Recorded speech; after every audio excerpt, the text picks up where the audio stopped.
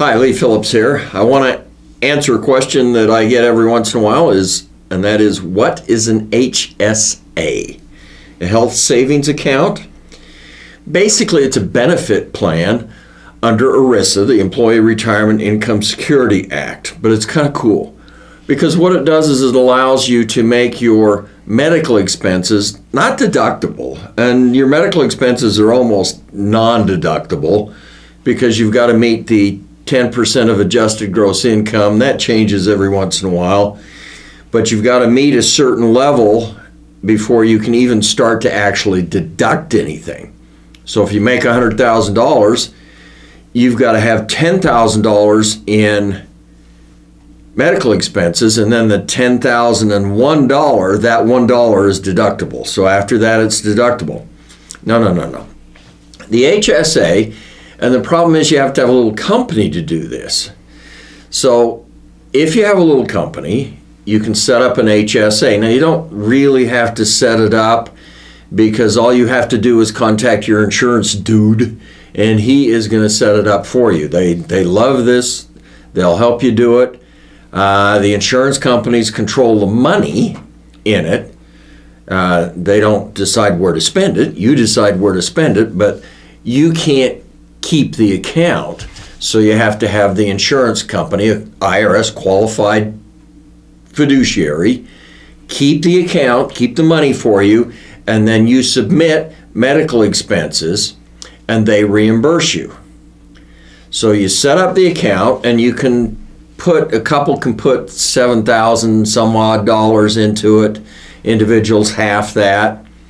You put your seven thousand dollars in this year, and then you have a medical expense that qualifies, and pretty much everything except over the counter stuff qualifies. We even used to take over the counter a while back, but uh, Clinton made it so you couldn't do that.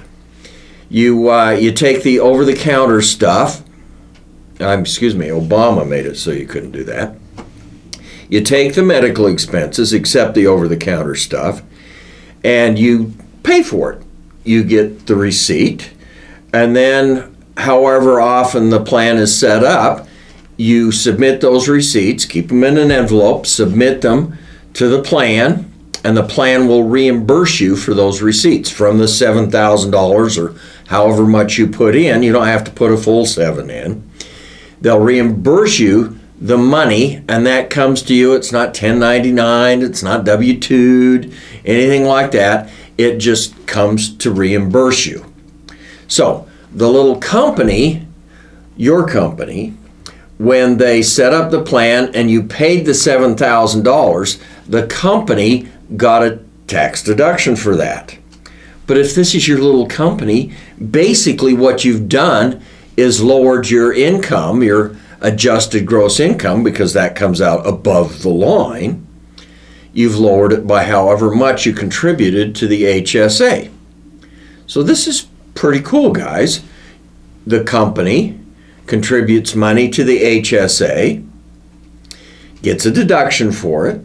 You can then submit receipts for medical qualified medical expenses to the HSA and we do it around here quarterly. You can do it weekly, you can do it annually, it doesn't matter. You submit the expenses and they reimburse you for those expenses, and that's tax free to you. So now, effectively, what you've done is not worried about deducting your medical expenses. You have made your medical expenses tax free, and that's a huge deal, guys you get to spend this money tax free. And you don't worry about deductions anymore because you got the maximum tax benefit out of this that you could get.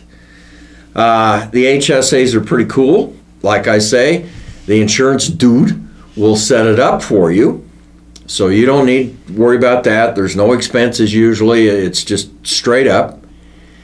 You submit the money out of the company, pay the money out of the company, company gets a deduction, you can then be reimbursed with that money. This is not a 125 or a flex plan or any of those things, in that there is no use it or lose it rule. If you don't use your full amount, your $7,000 or whatever that you put into the account this year, it just carries over to the next year. And it carries over to the next year. In fact, people will actually use this as a savings account. You can't really do that. That's not supposed to be what you're doing with it. But you can actually build up money in the account, save it for long term health care or something. That's a medical expense. Save it, but in the meantime, you can actually invest this money and it grows without a tax. So it becomes basically a tax preferred savings account if you don't use the money. Maximize it out as much as you can every year up to the 7,000 for a couple, whatever. And the number changes all the time. But max it out and then uh, use as much as you can, as much as you need to reimburse yourself with medical expenses. That's an excellent use of this money. And whatever's left over, you can actually invest and make a profit on it and that profit comes to you tax free. So the HSA is really a neat thing, guys. Uh, it has a brother called the HRA, the Health Reimbursement Agreement, which we can talk about in another YouTube video, and uh, works about the same way, except you get to control the money.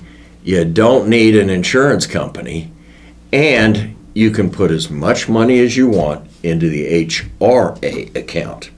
HSA is limited, HRA isn't. But it's not as easy to set up as an HSA.